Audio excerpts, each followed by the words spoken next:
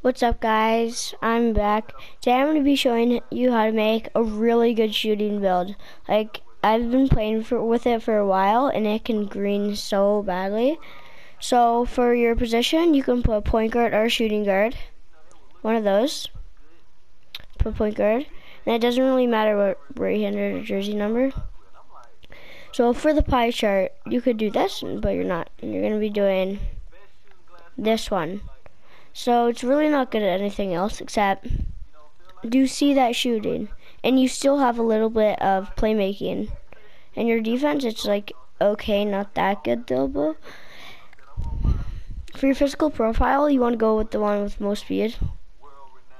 Cause this will you won't be driving, when you can just green. So first you're gonna max out all your shooting. Oh shoot.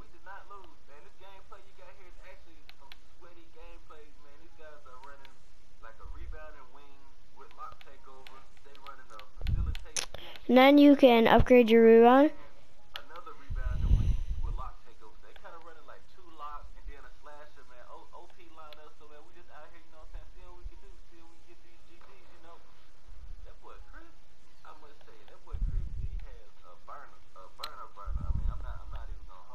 And dri driving dunk and driving layup, you want to max out.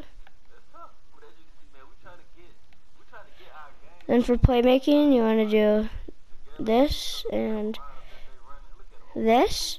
So you have 30, 30 shooting badges, like Curry, because he's number 30. And then you can get like, um, like two or three like finishing badges. So that's it. And it doesn't really matter what height. You can be 6'4", 6'3", or 6'5". Doesn't really matter be, I would be six three though.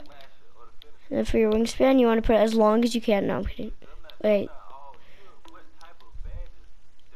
And then I'll do this. A playmaking shot creator. This, it look, do you see these? Stephen Curry, Trae Young. It's a very good build. That's it for today's video. See you guys back next.